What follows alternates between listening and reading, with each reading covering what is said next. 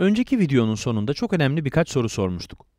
Ay, dünyanın etrafındaki 28 günlük döngüsünü tamamlarken, yeni ay evresine geldiğinde, dünya ile güneşin arasında bulunduğundan bahsetmiştik. Bu durumda dünya üzerinden bakan biri, ayın aydınlık olmayan yüzünü görür. Sorumuz şuydu. O zaman her yeni ayda neden ay güneşi kapatmıyor?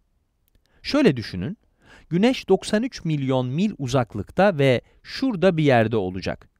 Peki bu senaryoya göre ayın onu engelliyor olması gerekmiyor mu? Aynı şekilde ayın dünyanın diğer tarafında olduğu durumdan da bahsetmiştik.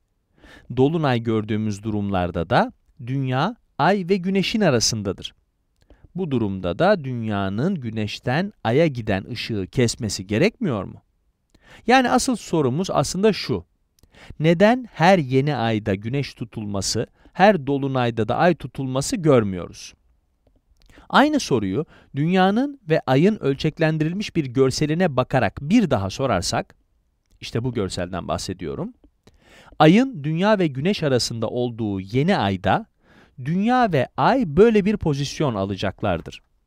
Her yeni ayda güneş tutulmasını neden yaşamadığımızın esas açıklaması şu. Çünkü ayın dünyanın etrafındaki dönüşü, dünyanın güneşin etrafındaki dönüşüyle aynı düzlemde gerçekleşmiyor. Aslına bakarsanız, ayın dönüşünü gerçekleştirdiği düzlem ile dünyanın güneş etrafındaki dönüşünü gerçekleştirdiği düzlem arasında 5 derecelik bir açı farkı var. Mesela buradaki şu nokta güneş olsun. Kesinlikle orantılı şekilde çizmediğimi belirtmiş olayım. Ve bu da dünya olsun. Dünya, güneşin etrafında buna benzer bir şekilde kendi yörüngesinde dönüyor.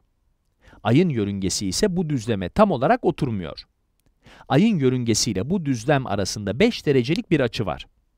Yani yılın hangi zamanında ve ayın kendi döngüsünde nerede olduğuna bağlı olarak ay dünyanın yörüngesinin altında veya üstünde olacaktır. Örneğin dünya üzerindeki birinin gözünden bakarsak ay dünyanın güneş etrafındaki yörüngesinin yani ekliptiğin düzleminde 5 derece yukarıda ya da 5 derece aşağıda olacak şekilde farklılık gösterecektir. Dolayısıyla burada göreceğiniz üzere ayın gölgesi yalnızca ay dünyanın güneş etrafındaki yörüngesinden geçerken dünyanın üzerine düşecektir. Çoğu zaman ay burada, burada ya da burada olacaktır.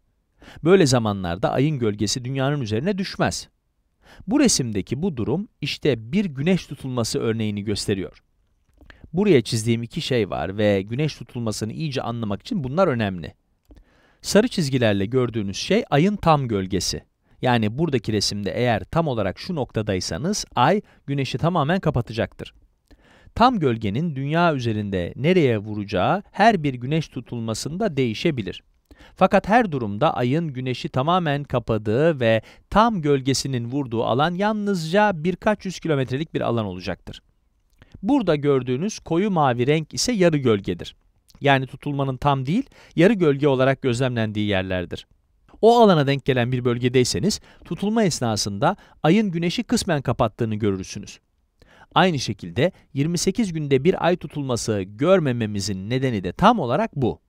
Yani ayın yörünge düzleminin dünyanın güneş etrafındaki yörüngesiyle yörüngesinin düzlemiyle yani 5 derecelik açı farkına sahip olması.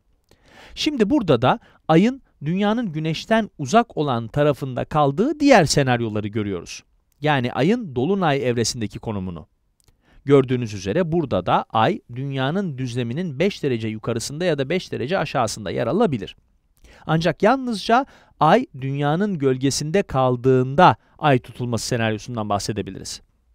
Burada da yine sarı çizgiler arasında tam gölgeyi, mavi çizgiler arasında da yarı gölgeyi görüyorsunuz.